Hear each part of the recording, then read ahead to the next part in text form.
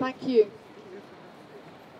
Firstly, I would like to thank Nick for the amazing work that he has done and all the volunteers of Pro Europa who have come out and who have helped us um, as we move forward and as we deal with the pain, as, as Nick has said.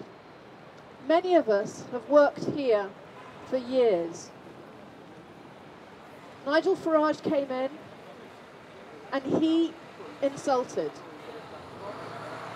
the vast majority of MEPs do a great job in this House right here. And I want to pay tribute to the MEPs that have represented British citizens and European citizens over the last decades.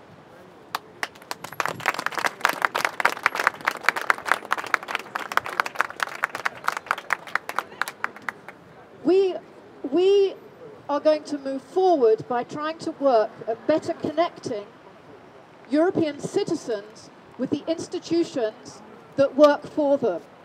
There is a huge amount to do because there's so much misunderstanding and we really want to try and build that gap. My husband is French. I'm looking at him right now. We are a typical European uh, couple of which there are many, many, many.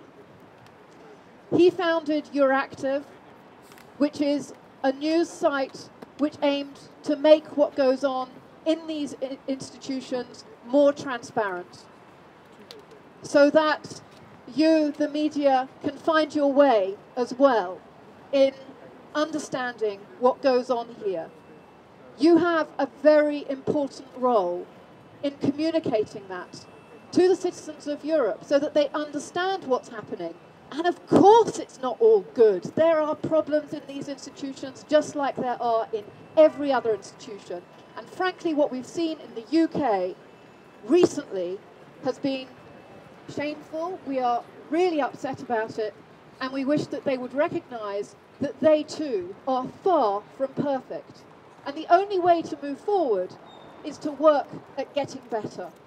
And when we want to plant this, this oak tree, it's to remind us that we have roots, that we grow, that we are not perfect, that each person is different, that each tree is different, and that together we all form part of a planet which the European Union is doing a lot of good things to, to help move forward. So I'm not going to speak any longer.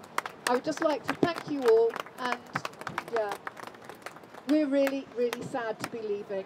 We hope to come back, but when we come back, we reckon that both the UK and the EU will have moved forward in a way that's going to make things better for the citizens of Europe.